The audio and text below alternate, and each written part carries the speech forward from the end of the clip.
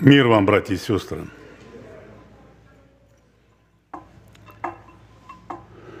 Вы знаете, я так размышляю, думаю, все-таки насколько чудно Бог совершил для этого человека, что когда-то там далеко, в глубине веков, миллионов лет назад, ну неизвестно когда, друзья, человеку невозможно это определить, был план у Господа для того, чтобы послать своего единородного Сына на эту землю. Это было очень давно. Написано прежде создания мира. Прежде сотворения всякой пылинки Вселенной. Вот так написано есть. Не было еще тогда. А план уже был. И как ни странно, вот мы с вами попали в этот план. Я хочу прочитать, чтобы это было не мои слова только. Вот такое вот слово написано к Ефесянам. «Благословен Бог и Отец Господа нашего Иисуса Христа, благословивший нас во Христе всяким духовным благословением в небесах, так как Он избрал нас в Нем – прежде создания мира, чтобы мы были святы, непорочны пред Ним в любви, предопределив усыновить нас себе через Иисуса Христа по благоволению воли Своей. А другое место Писания говорит нам о том, что Он уже посадил нас на небесах. То есть таким же самым образом – как Он видел наши имена, знал, когда мы родимся, когда мы умрем, и приготовил там место на небесах.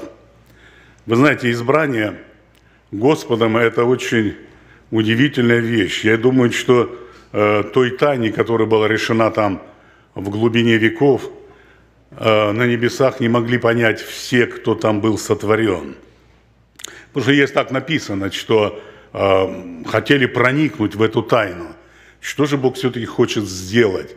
А Он хочет сделать очень и очень большую работу, скорее всего, для того, чтобы пребывать еще бесконечное количество лет, во веки веков. Должно быть какое-то правление небесных, земных, наверное, и преисподних, и владычество, и это будет все происходить с тем, которому все покоренно. А как ему все покоренно, то он стал главою церкви. Церковь его – это есть тело тоже его. Это руки, ноги. Мы с вами, друзья, на этой земле. Это тело Господа Иисуса Христа. За что его, ему, я хотел бы сказать, слава вместе с вами. Друзья, Я вот вижу часто, братья в последнее время говорят о Слове Божьем, насколько это важно, насколько это нужно для того, чтобы проникнуться им. Потому что ну, написано, что через него вы думаете иметь спасение, жизнь вечную. Но это действительно обязательно. Мы должны на это обратить внимание. И все Писание богодухновенно и полезно. И поэтому давайте мы опять к этим же историям, которые мы часто слышим, обратим свое внимание. А, я бы хотел обратить внимание на Гедеона. Это тоже избранник, и избранник Богом. Хотя он и не ожидал того, что это будет такая встреча. Но вдруг ангел Господень пришел к нему и сказал, «Мир тебе, муж сильный». И Бог повелевает его идти и делать какую-то работу, а именно освободить Израиля от этих а, их народы, которые стесняли их. Это были ефиопляне, не ефиопляне, а я забыл эти племена, которые там были. Может, что подскажет, друзья? А? Ма, маавитяне, да, ну пусть так, ладно маодинитяне. Но было их много там, все на «м», много на «м», много на «а». Но, друзья, не важно. Важно в том, что Господь избрал его идти против этих мадианитян. И вы знаете, вот он какой-то человек, хоть избранный Богом, но я бы сказал капризный, да. Он начал сначала говорить, кто я такой, разве я могу, какое мое племя. И потом говорит, чтобы если мне утвердиться, вот сделай то, разговаривает с Господом. И Господь идет на это. Он говорит, вот я приготовлю пищу. Пошел он там, приготовил козленка, опресноков, принес, и чтобы он поел. И когда он это принес, ангел ему говорит, возьми вот на камень это все положи, и вылей похлебку сверху. Ну, ясно, будет все мокрое, дров нету, камень лежит. И этот ангел простер свой посох, и пламя съело эту пищу. Но ему как бы показалось, что он это съел. Но этого мало. Господь ему говорит об избрании, как нужно отобрать людей, мы это знаем. Другое он не верит. Вот не верит он Господу, он говорит, Господи, вот победю ли я их? Вот дай мне знамение. И говорит о шерсти, что вот будет ли роса на шерсти в одно утро, в другое место только, время только на траве роса. И Бог идет на это. Вы знаете, он даже не обиделся. В других местах Писания мы видим, что Господь негодовал за неверие. Но вот это избрание Гедеона, оно какое-то особенное. Вот совсем не так, как Давид. Помните Давида, когда Бог помазал, он вырос там в доме уже, стал мужем таким, который, как сказано о нем, воинственный. И когда он пришел вот на это поле сражения, он вообще без всякой робости говорит, ну кто этот филистимлянин, который поносит воинство Господня? Я пойду и сниму с него голову. Ну, какая разница, да, в этих избраниях. Но, тем не менее, мы видим, что помазание Господне, оно работало. Работало, и это было избрание. И избрание это было для того, чтобы творить вот историю на этой земле, чтобы менять, может быть, не только народы, а, но менять государства, кому они должны принадлежать. Но больше всего, конечно, доставался народу Божьему. А можно было бы и читать, может, я и прочитаю нечто, но э, хочу сказать на память нечто. Вот помните, Господь имеет дело с Ильей. Это тот самый Илья, который в свое время уйдет на небо на огненной колеснице. Много сделал Господь работы через него, э, и много тоже евреи были в порабощении от сириян. Там были воины постоянные, но там был Ахав в это время, царь нечестивый – и в это же время там была Изавель, его жена, которая уничтожала пророков Господних. А получилось так, что Господь сделал, что Илья убил этих пророков на горе Кормил. Тоже было сделано чудо, когда вы знаете, когда они там сделали свой жертвенник, Илья свой жертвенник. И Господь явил чудо, что жертва была съедена огнем – хотя было залито водою, может быть, 12 ведер воды, по-моему, там, или какие там были меры. Но неважно, вода потекла кругом этого жертвенника. Елизавель, зная это, услышав об этом, захотела его убить, он убежал. И Слово Божие говорит, что он 40 дней, там было ему предложено съесть лепешку с водой, 40 дней и 40 ночей шел – Шел потом Господь, говорит, возвращайся назад. Илья повинуется, но ты, говорит, пойди, говорит, и помажь мне в Сирии Азаила на царя. Иуя поможь, помажь на царя в Израиле, потому что Ахава Господь решил истребить. Елисея помажь вместо себя – И почему-то Илья не сделал то, что сказал ему Господь, помазать Азаила на царя. Это делают работу уже Елисей. И, казалось бы, план Божий. Царь сирийский, Винодат уже при смерти, лежит при смерти.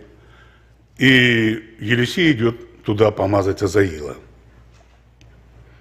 Когда он идет туда, то он узнал Винодат и сказал Азаилу, возьми самого лучшего в Дамаске и пойди встреть его и узнай, выздоровлю я или не выздоровлю.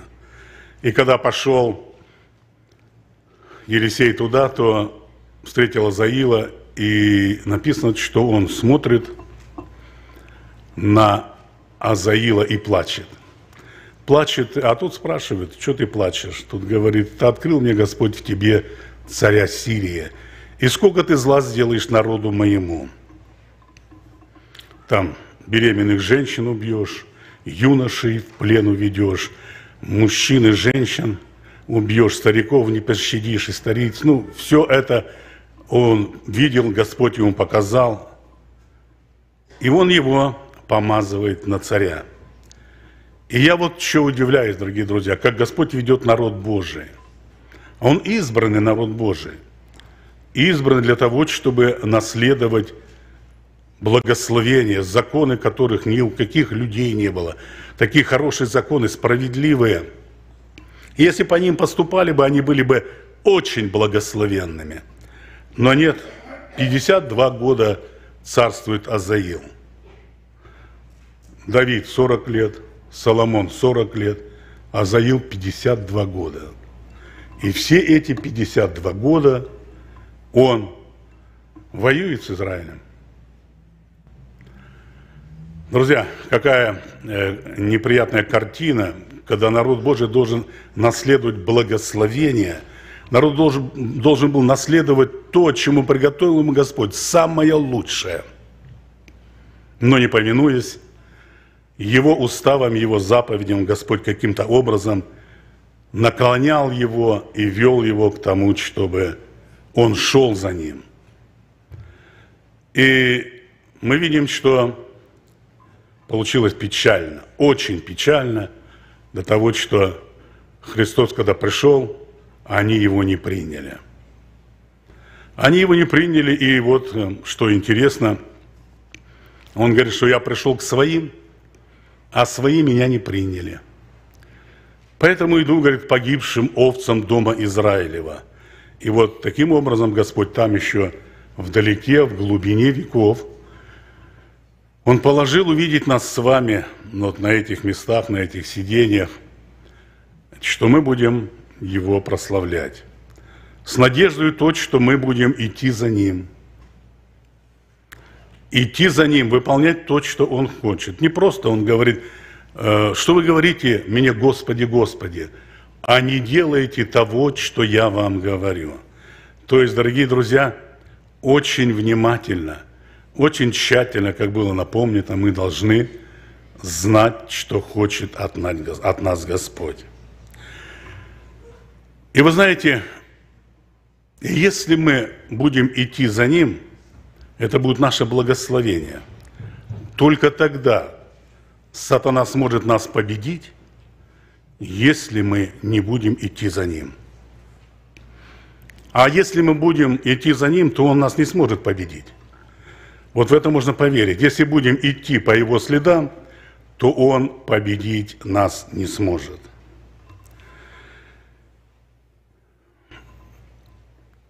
Дорогие друзья, а, давайте мы вспомним встречу Савла, который гнал церковь свою. Он гнал свою церковь, не свою, он гнал церковь Божью – и когда Господь его остановил в пламенном огне, то он ему сказал, что ты гонишь меня? Обратите внимание, он не говорит, что ты гонишь мою церковь. То есть, другими словами, он говорит, что ты гонишь меня? Это мое тело, это мой народ, это мои они уже сидят там у меня на небесах. Я уже имена их не там записал. Плюс тому еще на ранах его руках, на ранах его, на руках у него записаны имена. Он помнит, за кого страдал. Но Павел говорит, Господи, что повелишь мне делать? Друзья, а Бог ему говорит, иди. Иди, и там тебе будет сказано. Он посылает его к Анании, и там тебе будет сказано, что тебе нужно будет делать. Хорошо, друзья, получить такое повеление «иди». Гедеону иди. Илья идет. Апостол Павел идет. Апостол Павел идет, и до того он принял это к себе в сердце, что все почитал за ссор. Вот ему нужно было одно – познать Господа. Познать Господа так, как он говорит, так как он меня познал. То есть достичь той любви, которую Господь проявил человеку, чтобы Павлу это достичь. У него такое было желание. Потому что через это познание он говорит такие удивительные слова, что Бог говорит, распространяет благоухание о себе через познание Его в нас – он распространяет это благоухание через познание Господа. То есть, познавая Господа, апостол Павел и те, которые были с ним, это было благоухание. Для одних был э, запах живительный. То есть они очень много делали тому, чего делал Господь. Потому что он говорит, вот подражайте мне, потому что я подражаю Христу. И они делали так, что люди были, прославляли Господа. То есть это было благоухание, распространялось в том смысле, что не просто они там ходили, молились, но народ через действие ихних рук, через действие ихней веры прославлял Господа в достойной мере – Прославлялся Господь через исцеление, через изгнание бесов, через воскрешение мертвых. Они были сильны в том, чтобы имя Господа прославлялось достойно. И тогда, когда некоторые пытались сделать то же, и сыновья Скефы там собрались для того, чтобы за одного одержимого помолиться, то дьявол им сказал – что Иисуса знаю, Павел мне известен. А вы кто? Павла послал Господь. Иди и делай. Дорогие друзья, я еще вспоминаю одно положение, когда, когда Илья помазал, нет, не так было сначала, когда Господь сказал помазать Елисея, то он его встретил, Елисея, и встретил его Э, в поле, он работал на своем поле, там было 12 пар валов, и мы видим, что э, когда Елисей, когда Елисей был при 12 паре, то к нему подошел Илья и говорит, следуй за мною. А он говорит, мол, позволь мне пойти в дом там свой, там, попрощаться или что. А Илья говорит – что я тебе сказал? Вот тогда Елисей понял. Эти слова были сказаны для того, чтобы проверить его преданность Елисея. Что он изберет? Важность. Идти за Господом, идти за силой Божией или пойти домой там, э, может быть, попрощаться, потом вернуться. Но все-таки Елисей решил идти за Господом. Он решил идти за ним, потому что, видать, много уже знал, много слышал, много видел. И написано, что он взял этих своих двоих валов за заколол их, или как он там их убил, сделал с них, вернее, сломал плуг, сжарил мясо и сделал эту пищу и накормил там их всех и пошел за Ильею. Идя за Ильей, дорогие друзья, ему Илья говорит, слушай, Елисей, останься здесь, мне нужно пойти в Вифиль. Жив Господь, говорит Елисей, не останусь. Жива душа моя, жив Господь, пойду за тобою. Не хочет его уже как бы брать с собой Илья в другом месте. Он говорит, Елисей, останься здесь, мне нужно пойти в Иерихон. Елисей отвечает то же самое, что жив Господь, жива душа моя, не останусь здесь, пойду за тобою. Смотрите, какая привязанность уже, какая преданность для того, чтобы идти и видеть, что делает Илья. Идти и смотреть своими глазами. Третий раз ему говорит Илья, Елисей, останься здесь. Господь меня посылает к Иордану. Нет, не пойду, говорит. Все время с Ильею. Пророки пророчествуют, что Господь вознесет господина твоего вихре. Все уже как бы знают. Знаем, все знаем. Но все-таки они идут вместе. Пришли к Иордану. Мы знаем эту историю, что он снимает с себя хитон этот, э, накидка у него была. Она как бы символизирует помазанию тому, которое было в то время. На царях было помазание, э, на священниках было помазание, на пророках было помазание. И все. Мы Писании больше не найдем, кто бы был помазан. Если он помазан раньше, будучи молодым, то будущее его царское или судья, или же он пророк, или же он священник, и помазание сходило. И вот Елисей что-то думает в своей голове, следует за Ильею, и Илья ему говорит, проси, что тебе надо. А он говорит, да ничего не надо, вот только той силы, которая в тебе, чтобы на мне была вдвойне – большого ты просишь. Но если ты увидишь, когда я буду вознесен, то будет тебе. И вот эта пристальная привязанность к Нему, эти, эти напряженные глаза, эта душа вместе с Ним, он желает получить от Него то, что попросил. Он идет за Ним. Идет за Господом, можно сказать. Потому что та сила, которая в Нем, это сила Господня – он идет и получает ее. Огненная колесница пришла, унесла его с этой земли, Илью, а он получил силу.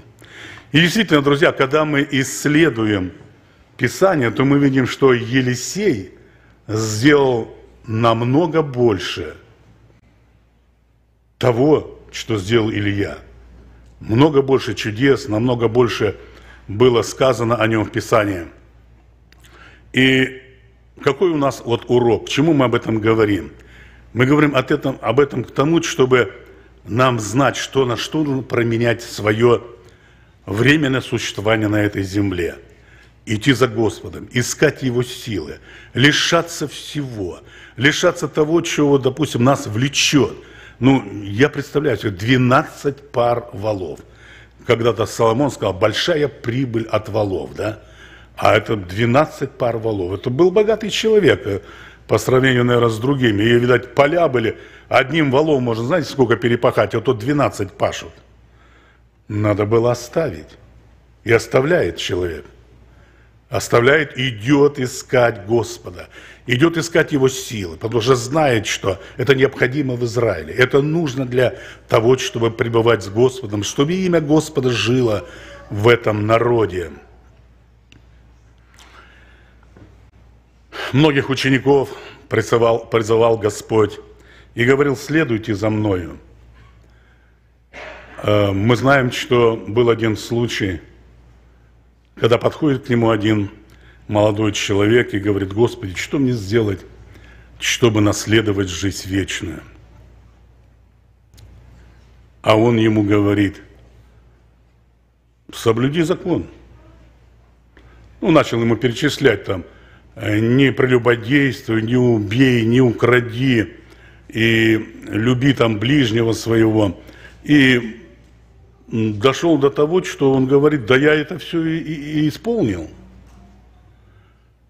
И написано, что посмотрел на него Христос, я думал, увидел его глаза, которые были действительно искренние, честные, и полюбил его, так написано. А он ему говорит, вот одного тебе не достает, возьми вот это все, твое богатство, продай и раздай нищим, следуй за мною. Друзья, и вот тут получился выбор. Хотя человек вроде бы был хороший, и это было трудно. Вообще-то трудно было исполнить закон Божий. Очень трудно. Это была буква, это надо было стремление. И этот человек исполнил.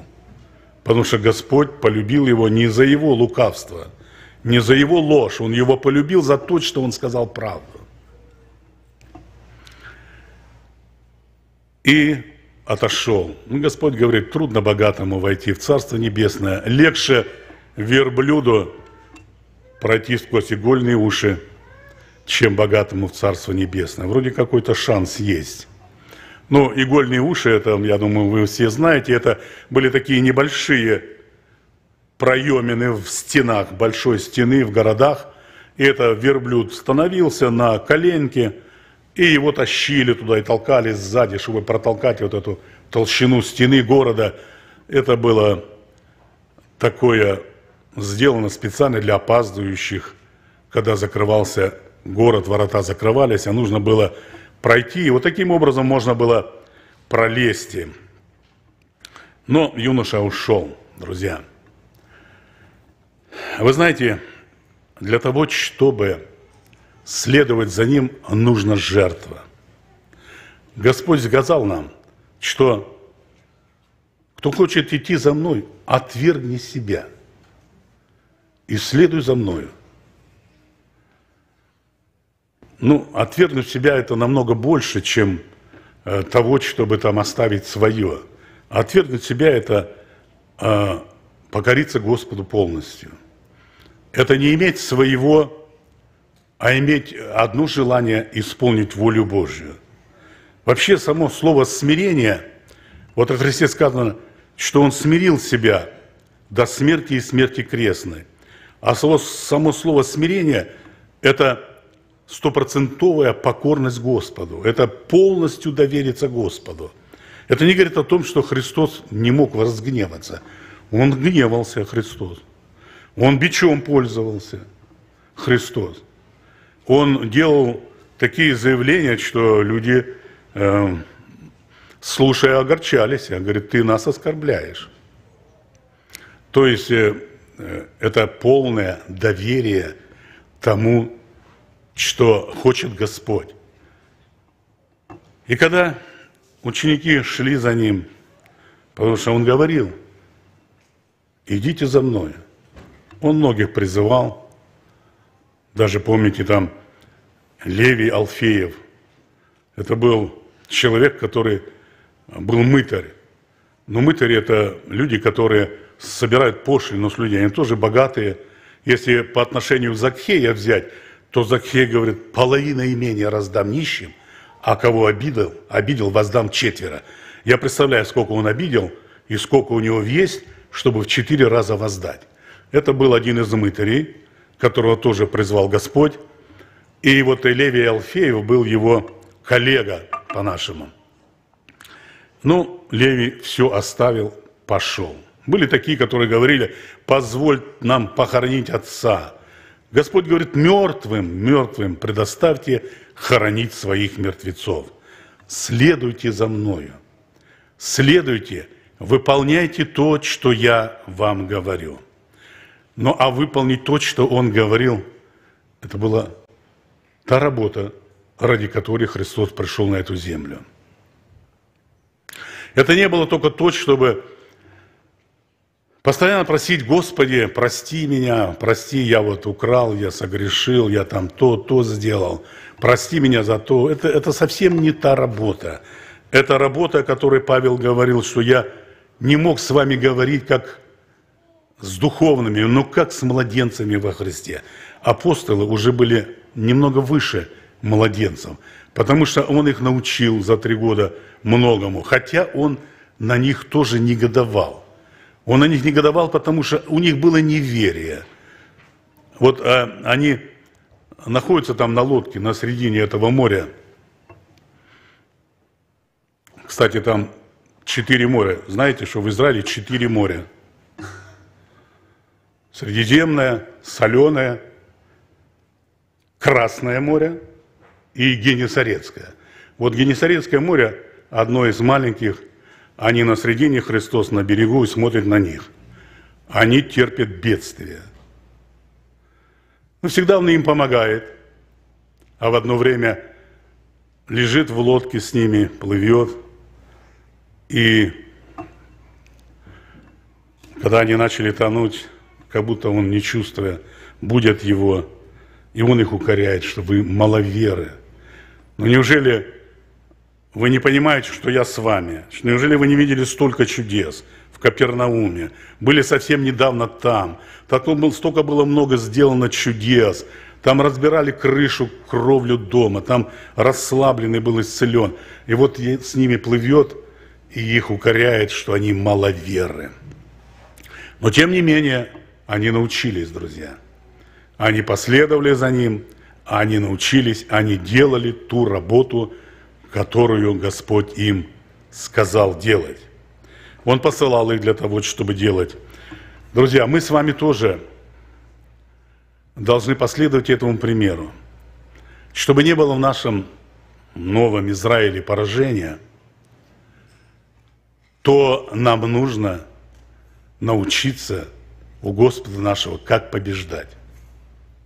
Если Слово Божие нам говорит, что мы должны быть облеченные во все оружие Божие, и если мы этого не делаем, мы остановились. Мы сели, ждем чего-то, кто-то придет за нас, что-то сделает, то мы будем терпеть поражение, что и терпим, друзья. И поэтому да поможет нам Господь научиться послушать Слово Божье – так важно, так часто определяются братья, чтобы нам вникнуть в него. И тогда, когда мы в него вникнем, а это познав, познавший истину. То есть Слово Божие есть истина. А Слово Божие говорит, если мы познаем истину, то истина сделает нас свободными. Многие скажут, ну, конечно, от наших грехов – от грехов уже вас Господь освободил. Вы просто больше не грешите. И я также должен больше просто не грешить. Господь уже заплатил за наши грехи. Господь хочет одного, чтобы мы побеждали дьявола, когда он наступает. Когда он наносит поражение. Он очень серьезное наносит поражение. Очень серьезное. Поэтому написано, что от недостатка видения – гибнет мой народ. Получается так, что люди гибнут, просто умирают. А Христос учил учеников, говорит, идите, говорит, и мертвых воскрешайте. И не один раз это сказал он. И сам он это делал. Да и все это делали, ученики это делали.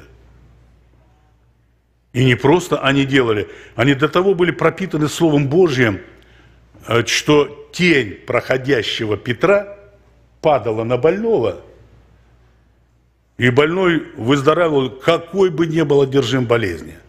Ну как можно было спросить у того, кто лежит там, веру его? Да никакой веры он не спрашивал, просто тень падала, и тот вставал. Вот так сильно Господь действовал через э, учеников. И как я прочитал место Писания.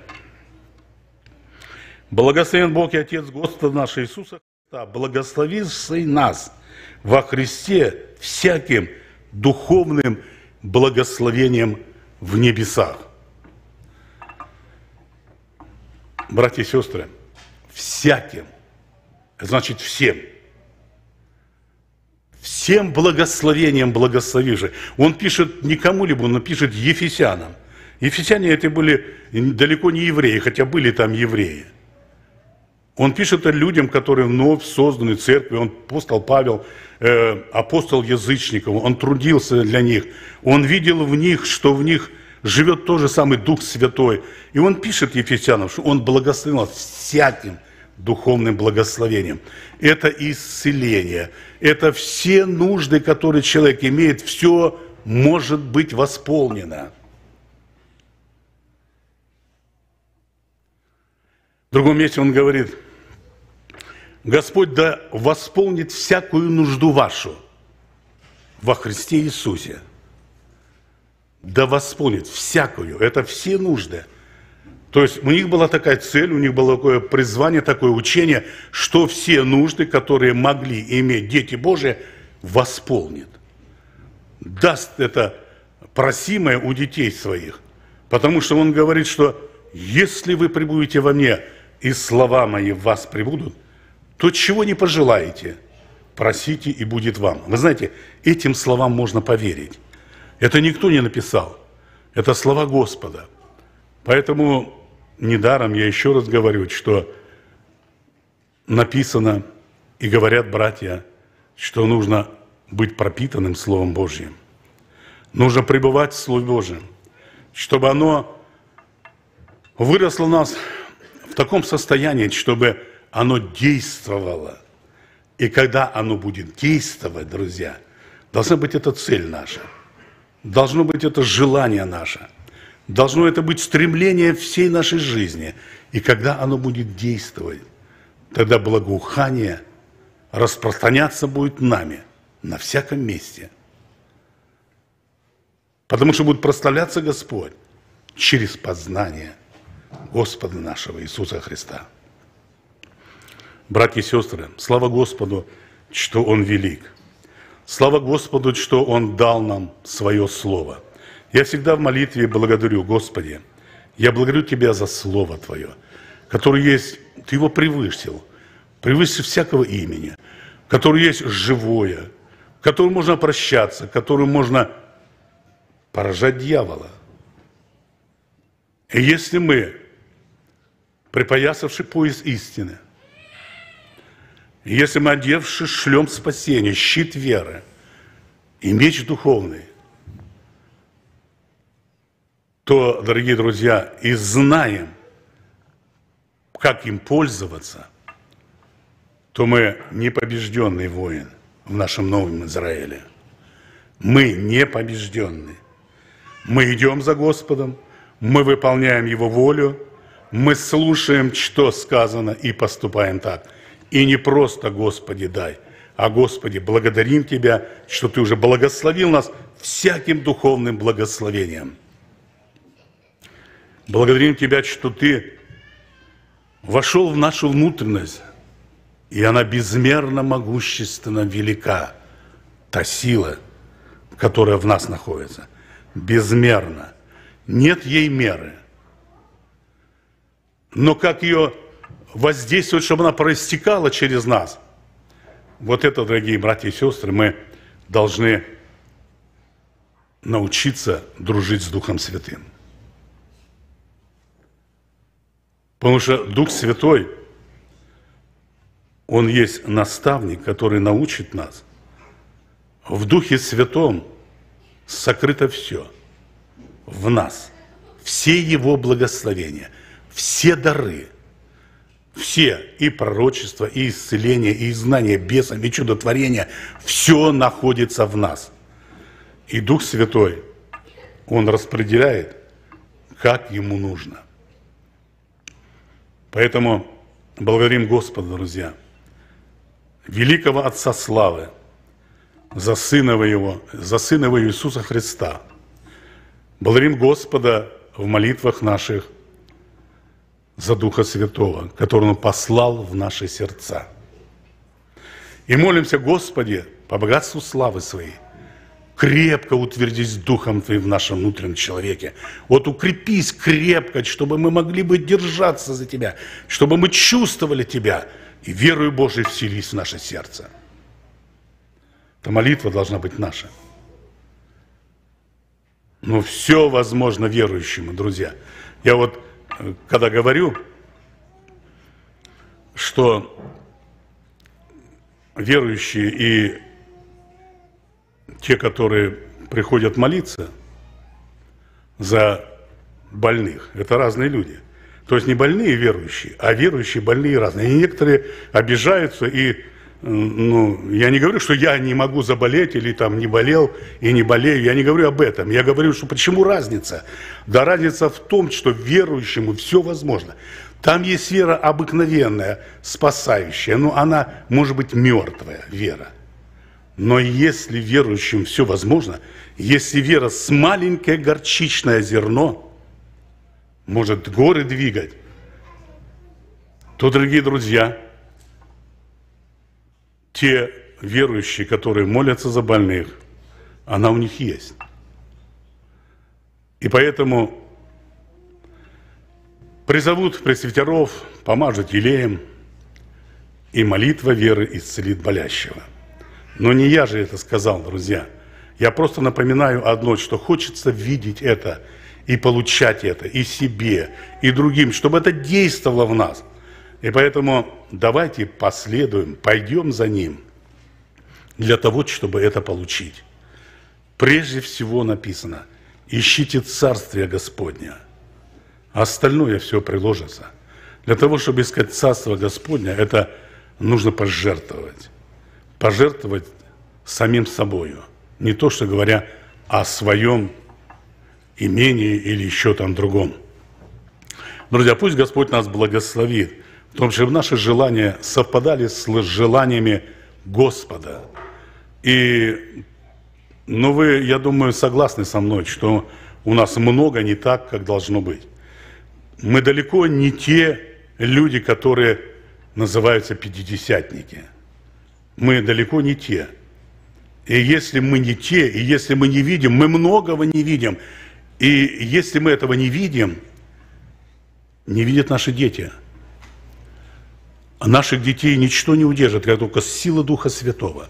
И поэтому, ревнуя о том, что пребывал Господь с нами, чтобы нам пребывать с Ним, мы можем укрепиться Господом, могуществом силы Его.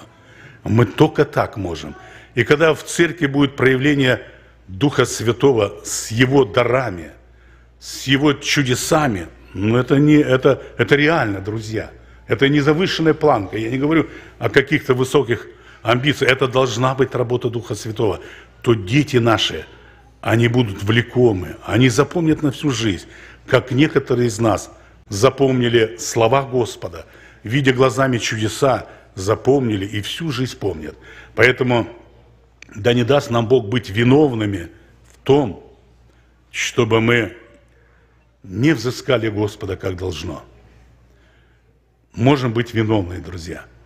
Поэтому наше старание – да будет благословенно Господом. Пусть Бог нам поможет, друзья. Будем молиться. Да благословит вас Господь. Аминь.